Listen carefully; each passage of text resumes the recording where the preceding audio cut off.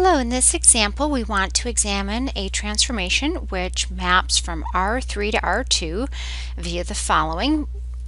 T of xyz equals x plus z in the first component, y in the second component.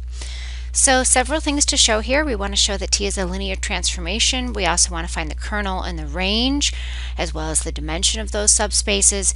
We want to find the domain of T, verify the rank nullity theorem, and lastly, we'll write A, a matrix representation of T. So let's get started. The first task here is to show that T is a linear transformation.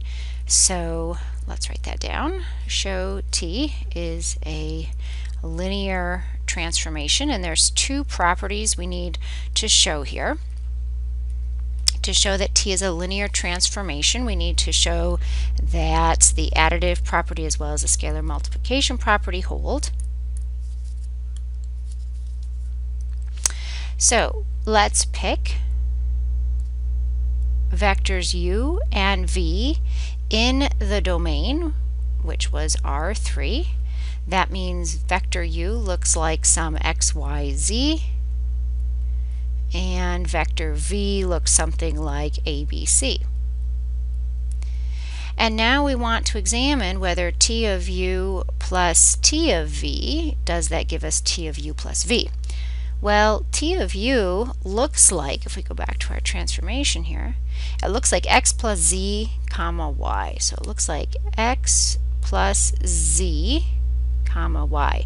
In other words, we're taking the uh, first and third components, adding them up, and that gives us our output for the first component. And then the second component is just kind of a copy paste.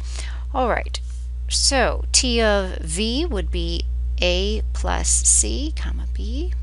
Adding those vectors up, we get a x plus a plus z plus c and y plus b and a moment's thought shows us um, that that is actually the same as t of u plus plus v. And I'll kind of write out all the steps there. That's, that's t of x plus a, y plus b, and a z plus c. And again, the rule is that we take our first and third components, that becomes the sum that's in the first component and the second component. It's kind of a copy paste. So the additive property holds. The other thing we need to show is that for any scalar, for any k in the real numbers and u in our domain set, we need to verify that k times t of u is the same as t of k times u. So k times t of u, that gives us k times x plus z comma y. Performing scalar multiplication, we get kx plus kz equals ky. And again, what we're trying to see is that equal to t of ku, and certainly it is because ku just looks like kx, ky, kz. And again, the rule that Performs is that you take the first and third components, add them up, and that becomes the first component of the output. So indeed, this is a linear transformation.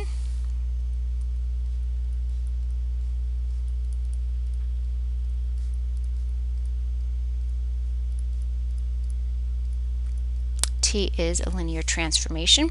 The next thing we wanted to explore was uh, the kernel. So let's find the kernel of T.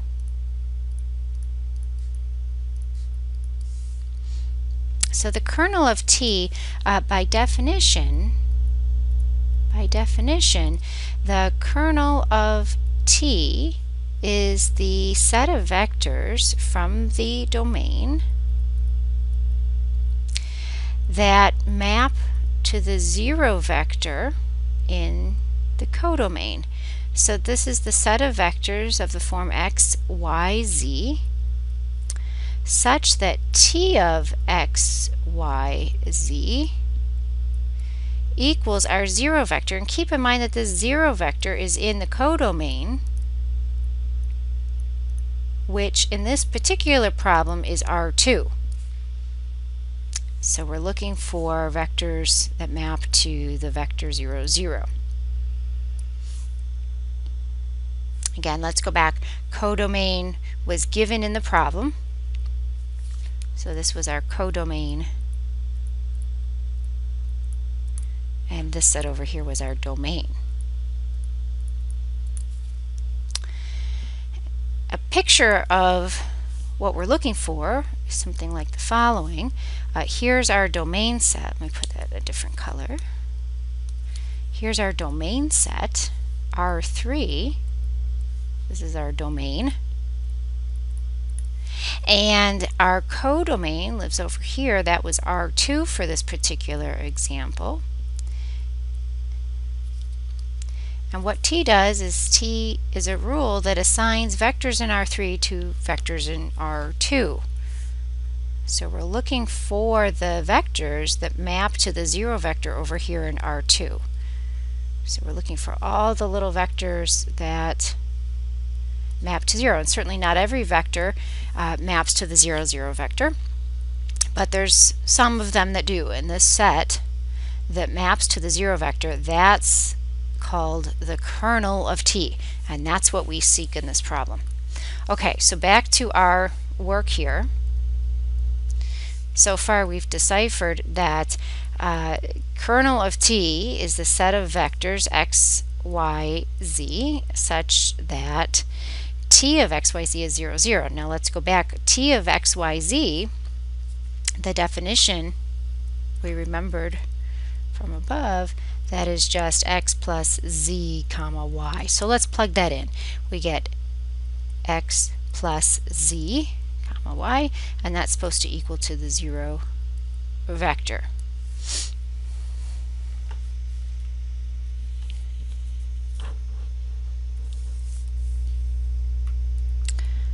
So solving from here, this condition right here tells us that x plus z must equal 0.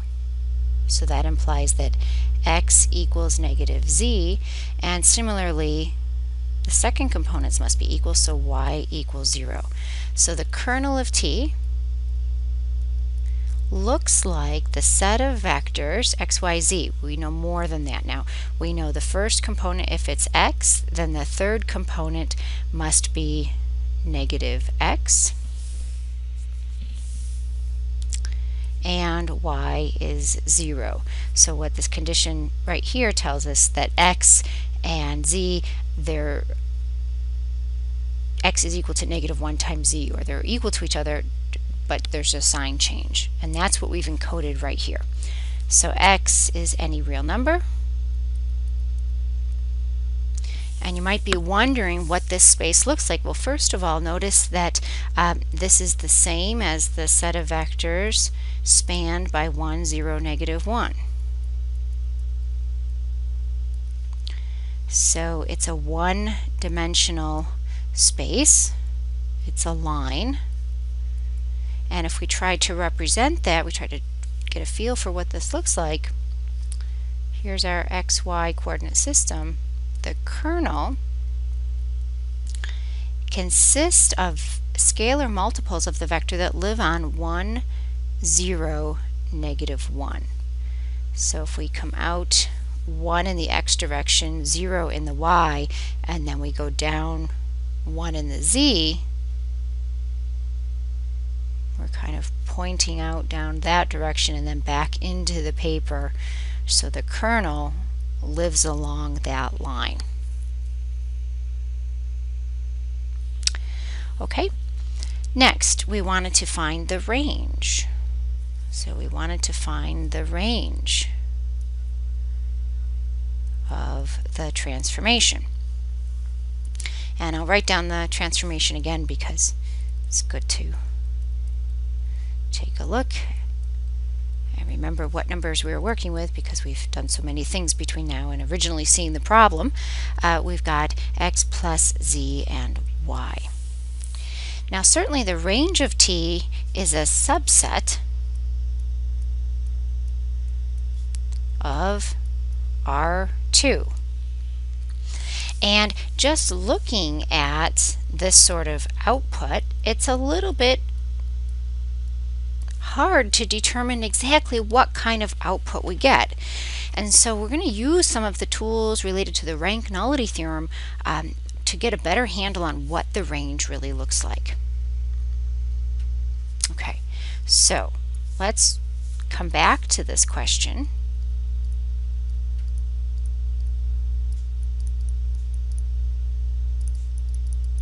I'm going to leave a little bit of space in our paper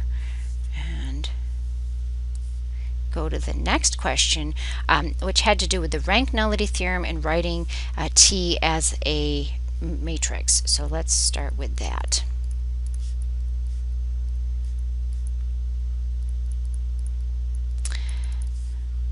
So we're trying to write T as a matrix and there's really three steps. We need to write a basis for the domain of T, which in this case was uh, R3.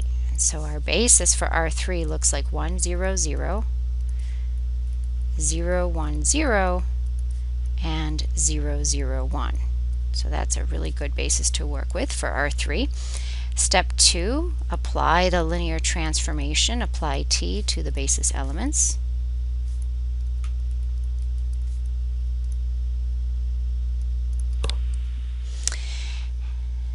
So let's do that. The first application will go T of 1, 0, 0. And again, let's remind ourselves what T does. T is a map that takes in vectors x, y, z, and it spits out vectors that look like x plus z comma y. So if we're putting in a 1, 0, 0, what we'll get out is a 1 plus 0 comma 0. So we get out a 1, 0. And then the next application of the transformation to basis element, we're going to put in a 0, 1, 0, 0, 1, 0, and so now x is 0, y is 1, so we're going to get 0 plus 0, and we get out 1, so that gives us a 0, 1. And lastly, we'll go t applied to 0, 0, 1, and if we put those values in here, 0, 0, 1, we get 1, 0. So those three column vectors become matrix A. Matrix A has column vectors obtained in step 2.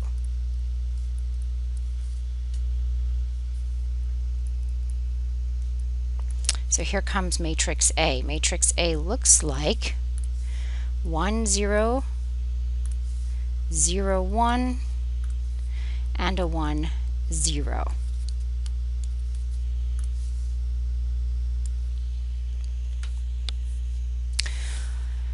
So a couple of questions here. First of all, what is the rank of A? The rank of A tells us about the dimension of the range of T because the rank and the range, those rank of T tells us exactly what the dimension is. And we notice here that the rank of this matrix A is 2. Some other things to notice here. Um, we have a free variable column here. So let's write that down. So the dimension of the null space or the nullity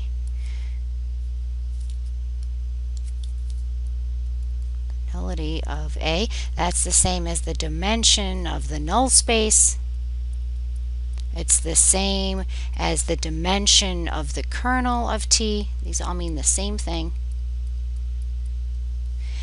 and we see that we have one free variable. So the dimension of the kernel is 1.